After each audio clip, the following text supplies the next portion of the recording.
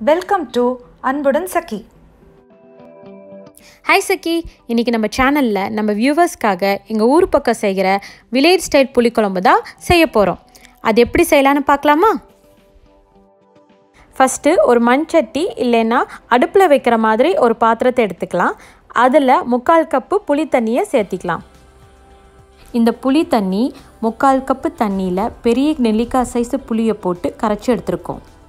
அப்புறம் ஒரு கப்பு நறுக்கிய தக்காளியை இதில் சேர்த்து கையிலேயே நல்லா கரைச்சிக்கலாம். இதில் பத்து சின்ன வெங்காயம் நாலு நறுக்கிய பச்சை மிளகா பத்து பல் பூண்டு தட்டி இதில் சேர்த்துக்கலாம். தேவைக்கேற்ப உப்பு ரெண்டு டேபிள் ஸ்பூன் குழம்பு மிளகாய்த்தூள் ஒரு டேபிள் ஸ்பூன் தனியாத்தூள் ஒரு டேபிள் ஸ்பூன் சில்லி பவுடர் அரை டீஸ்பூன் டர்மரிக் பவுடர் இது எல்லாத்தையும் சேர்த்து ஒரு தடவை நல்லா கலந்து விட்டுக்கலாம். இதில் ஒரு கப் தண்ணியை சேர்த்து காரம் உப்பு எல்லாம் கரெக்டாக இருக்கான்னு பார்த்துட்டு வேணும்னா ஆட் பண்ணிக்கலாம்.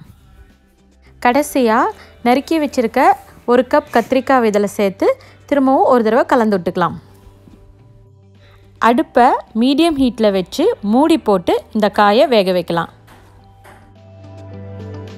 பாருங்கள் காய் நல்லா வெந்துருச்சு. இப்போ இந்த ஸ்டேஜில் அரை கப் தேங்காய் பால் ஊற்றி ஒரு கொதி வந்தோடனே தாளிப்பை ஊற்றி இறக்கி வச்சிடலாம் தாளிப்புக்கு ரெண்டு டேபிள் ஸ்பூன் நல்லெண்ணெய் சூடான பிறகு ஒரு டீஸ்பூன் கடுகு சேர்த்து நல்லா பொரிய விடணும். கடுகு நல்லா பொரிஞ்சு வரும்போது ரெண்டு டீஸ்பூன் வெந்தயத்தை சேர்த்தணும். அதோட அரை டீஸ்பூன் சோம்பையும் சேர்த்து பொரிய விடணும். கடைசியாக ஒரு பத்து கறி லீவ்ஸை இதில் போட்டு நல்லா பொரிஞ்ச உடனே இதை எடுத்து குழம்புல சேர்த்துடலாம். பார்த்தீங்களா எவ்வளோ ஃபாஸ்ட்டாக ஈஸியாக செஞ்சிட்டோன்னு நீங்களும் இந்த புளிக்குழம்ப ட்ரை பண்ணி பார்த்துட்டு உங்கள் கமெண்ட்டை ஷேர் பண்ணுங்கள்